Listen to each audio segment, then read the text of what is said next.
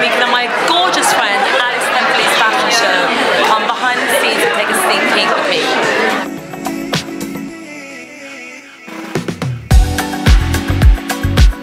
Alice really wanted, she was like, darling, I want the Tilbury glow.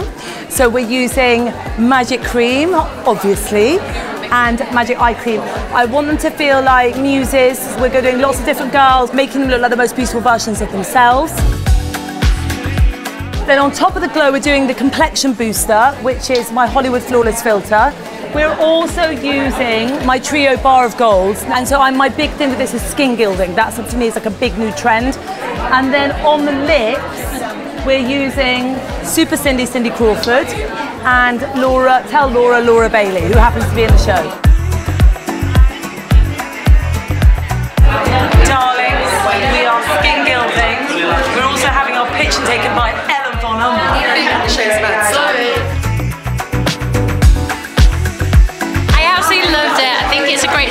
Celebration of all these different women's personalities.